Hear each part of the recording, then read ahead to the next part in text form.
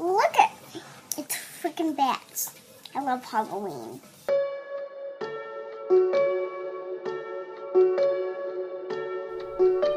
Hello, and welcome to my very first nail art video. Uh, I'm very excited to finally be posting a nail art video. I've been thinking about it for a very long time. Um, this video uh, will feature the Safiya Holo Taco collab uh, products. I was so excited about that collab. I've been following Christine and Safiya both for a very long time, and I have a lot of Holo Taco products. Uh, but I do actually mainly work with gel products. I've been doing my own gel nails at home for about two years now. Um, so you will see me using some gel products in this video as well as the Safiya Holo Taco products.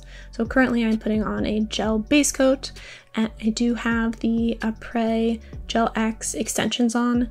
I cut my nails in the summer and it was a mistake. I hated it. Uh, so I am in the process of growing them back out, but for the time being, I am wearing extensions until they get long enough.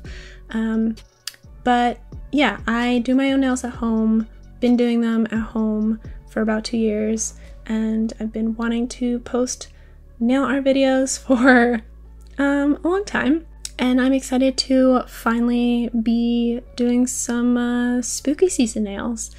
And so I hope you enjoy. Um, I still need to figure out a better angle for the camera because my head kept getting in the way. Um, but hopefully, I will be able to post more nail art videos and hopefully, you guys will enjoy them. Uh, so, without further ado, let's get into the video. So I'm starting off by putting the base nail polishes down. I obviously wanted to get these down as soon as possible before going in with the nail art because I wanted these to dry all the way. So I'm putting Feeling Fiendish on my ring finger, I'm putting Spirit Fingers on my middle finger, and I'm putting Bat Bitch on my thumb. And I do go in with two coats of these, and I think Spirit Fingers I did three coats to really you know truly make it opaque um, but these colors are so beautiful so for my pointer and pinky finger, I am doing a sort of gradient of Brucey into my natural nail. I did put a nude gel polish down first because I didn't want my extension to be seen. Uh, it ended up not being seen at all, so it's kind of an unnecessary step. Um, but then when I start uh, kind of feathering Brucey on. I was going back and forth with a sponge and a brush because I just suck at doing gradients. Um, I think I just need to cut up a brush to, you know, make it easier to feather polishes. Um, but I go back and forth multiple times to build up the opacity um, so the tip of my nail is very opaque and it kind of fades into the natural nail. And I don't show it, but I do repeat these steps on my pinky nail to also create the gradient effect with Brucey. Next, I am going in with a very thin layer of gel top coat. Before I put any gel top coat on any of my nails, I make sure that the regular nail polish is absolutely dry 100% of the way. And for this, um, I am putting the tiny little bat glitters that came with the Safiya Holo Taco collection on my ring finger on top of Feeling Fiendish, and I just move them around until I like the placement, and then I will cure the gel top coat the next nail I'm doing is my middle finger on top of the spirit fingers. The tip I am making to look like little cat ears, so I'm taking a black gel polish and taking a very slim, slender liner brush, and I am starting off with a semicircle towards the tip, and then I will drag uh, that polish up into points to create the effect of cat ears. And once I am happy with the shapes, I go back and forth with acetone as well when I'm doing nail art until I'm happy with the outcome. Um, but once that's set, I cure it and then I go in with some white polish to do the little eyeballs and then I cure that as well. So now the nail art on the thumbnail, and I guess you could say this is the more fun nail. Um, whenever I've shown my nail art to you know, friends, family, whatever, they always say that this is their favorite one.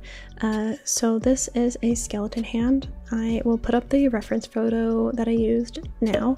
So I put this up on my computer screen in front of me and I am just looking back and forth at the reference photo as I am laying out the shape.